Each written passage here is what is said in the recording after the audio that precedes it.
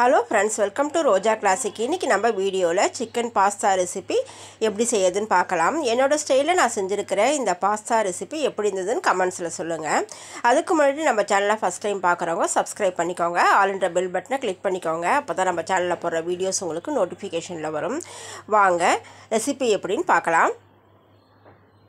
இந்த chicken pasta செய்யறதுக்கு இரநூத்தி ஐம்பது கிராம் சிக்கன் எடுத்து எலும்பு இல்லாமல் க்ளீன் பண்ணி எடுத்துருக்கிறேன். அதில் ஒரு ஸ்பூன் அளவுக்கு இஞ்சி பூண்டு பேஸ்ட்டு கால் ஸ்பூன் கரம் மசாலா தூள் சேர்த்துருக்கிறேன். ஒரு ஸ்பூன் அளவுக்கு காரத்தூள் அதே அளவில் ரெட் சில்லி பவுடர் சேர்த்துட்டு ஒரு ஸ்பூன் தயிர் சேர்த்துட்டு இதை நல்லா மிக்ஸ் பண்ணி விட்டுக்கலாம். நம்ம சேர்த்துருக்கிற இந்த மசாலா பொருட்கள்லாம் சிக்கனோட நல்லா கலந்து மிக்ஸ் பண்ணி வச்சிடணும். இப்போ நான் எல்லாத்தையும் கலந்து வச்சுட்டேன். இது கொஞ்சம் நேரத்துக்கு அப்படியே ஊறட்டும். இது ஒரு பக்கம் இருக்கட்டும். இப்போ கடாயில் ரெண்டு குழிக்கரண்டி அளவுக்கு எண்ணெய் சேர்த்துக்கலாம். எண்ணெய் சூடு ஏறினதும் மசாலா பொருட்கள் சேர்த்துடலாம். கூடவே ஒரு பத்து பல் பூண்டு பொடியாக கட் பண்ணி சேர்த்துக்கலாம். இஞ்சி ஒரு துண்டு பொடியாக கட் பண்ணி சேர்த்துக்கலாம். நம்ம இந்த சேர்த்த பொருட்கள் எல்லாம் நல்லா எண்ணெயில் வதங்கி வர்ற வரைக்கும் இதை நல்லா கலந்து விட்டுக்கலாம் இஞ்சி பூண்டு வதங்கி வந்ததும் ரெண்டு மீடியம் சைஸ் வெங்காயம் பொடியாக கட் பண்ணி இதில் சேர்த்துக்கலாம். வெங்காயத்தை சேர்த்து ஒரு ரெண்டு நிமிஷம் போல் கலந்து விட்டுக்கணும். வெங்காயத்தோட இந்த ஈரப்பதம் ஓரளவுக்கு குறைஞ்சதும் ரெண்டு பச்சை மிளகாய் எடுத்து பொடியாக கட் பண்ணி இதில் சேர்த்துக்கலாம்.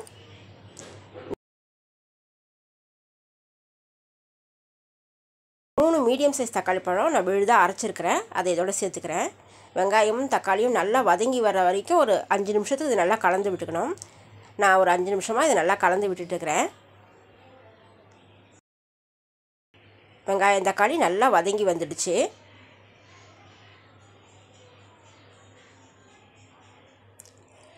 இந்த ஸ்டேஜில் நம்ம மிக்ஸ் பண்ணி எடுத்து வச்சுருக்கிற சிக்கனை இதில் சேர்த்துடலாம். சேர்த்துட்டு இந்த வெங்காயம் தக்காளி கூட நல்லா கலந்து விட்டுக்கோங்க.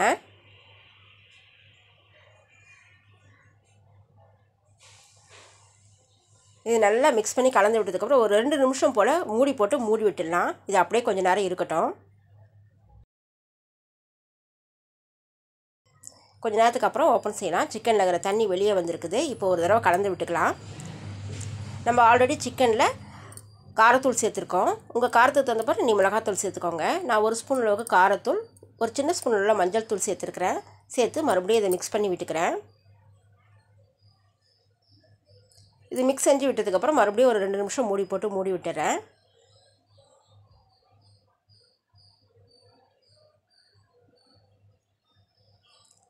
ஒரு தடவை ஓப்பன் செஞ்சு கலந்து விட்டுக்கலாம்.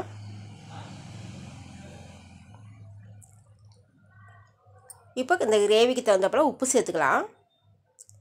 நான் பாஸ்தா வேக வைக்கும்போது பாஸ்தாவுக்கு தகுந்தப்பல உப்பு சேர்த்துருக்கேன்.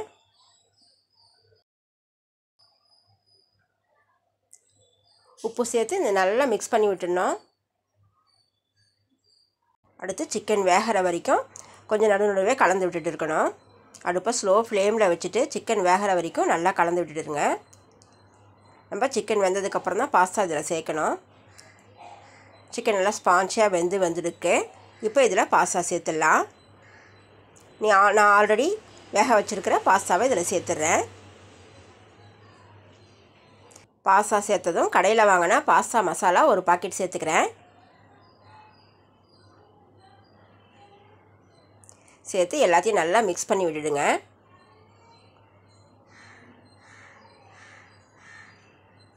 நல்லா கலந்து வர்ற போல் நல்லா மிக்ஸ் பண்ணி விட்டுடலாம்.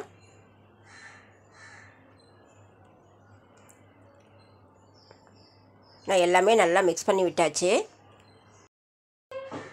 மிக்ஸ் பண்ணதை ஒரு ரெண்டு நிமிஷம் போல் ஒரு மூடி போட்டு மூடி அப்படியே வச்சுடுங்க. அடுப்பு ஸ்லோ ஃப்ளேமில் இருக்கட்டும். ரெண்டு நிமிஷத்துக்கு அப்புறம் ஓப்பன் செஞ்சு பார்த்தோம்னா நல்லா வாசனையான சிக்கன் பாஸ்தா ரெடி ஆகிடுச்சு இதை ஒரு தடவை நல்லா கலந்து விட்டுக்கலாம். இதில் ஒரு நாலு முட்டையை நான் இதில் சேர்க்குறேன். உடச்சி சேர்த்துக்கலாம்.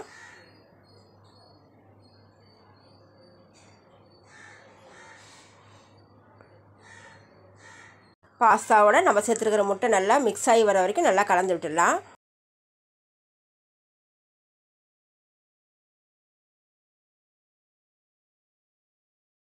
நம்ம சேர்த்த முட்டை நல்லா வெந்து பாஸ்தாவோட நல்லா மிக்ஸ் ஆகி வந்துடுச்சு. இதில் ரெண்டு ஸ்பூன் அளவுக்கு மிளகுத்தூள் சேர்த்துக்கலாம். கொஞ்சமாக மல்லித்தழையை தூவிட்டோன்னா நம்ம குழந்தைங்களுக்கு ரொம்பவே பிடிச்ச சிக்கன் பாஸ்தா ரெசிபி ரெடி ஆகிடுச்சு நான் சமைச்சிருக்கிற இந்த சிக்கன் பாஸ்தா ரெசிபி உங்களுக்கு பிடிச்சிருந்ததுன்னா ரோஜா கிளாசிக் சேனலுக்கு சப்ஸ்கிரைப் பண்ணுங்கள் தேங்க்யூ